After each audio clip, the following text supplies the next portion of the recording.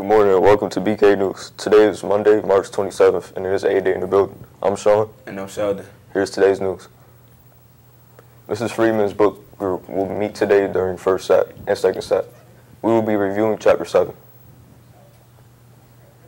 The seniors will be selling raffle tickets today during both lunches. Buy a ticket and get the chance to be the principal for the day. Next Friday, one lucky student will be Mr. Simone for the entire day. Tickets are $1 each for 5 or $3. The winner will be announced today.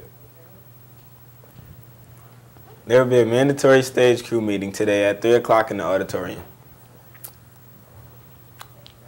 There will be a spring cleaning fundraiser this week. We will be collecting various items around your house all this week.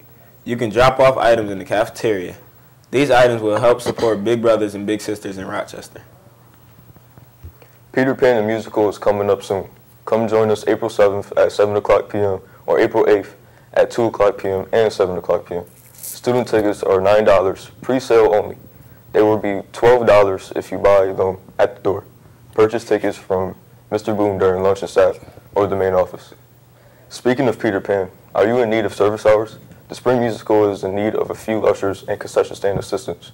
All volunteers can earn up to nine service hours Please see Mr. Miller if you are interested. Only a certain number of slots are available, so it will be the first come, first served basis. Attention all seniors. There will be an informational meeting during second SAP tomorrow in Miss Hanson's room. Attention Best Buddies members. There will be a brief meeting tomorrow at 11:15 to discuss important topics for our visit this Friday, March 31st. Please meet at the counselor's offices promptly after at 11:15.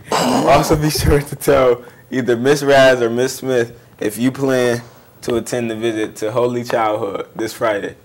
It is required that you notify the counselors by Thursday at 2:46. Otherwise, you will be unable to attend the visit. Now we throw it to sports.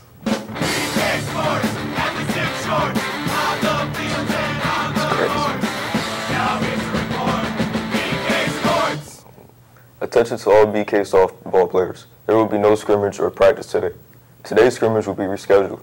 We will resume the practices tomorrow, remember. We have the later shift this week, 5.30 to 7.30. Another reminder, JV will not practice on Thursday, but all are expected to attend varsity's home opener on Friday. You got it. Uh, thank you for turning in to Newt. Thank you for tuning in to BK News. I'm Sheldon. And I'm Sean. Have a great day.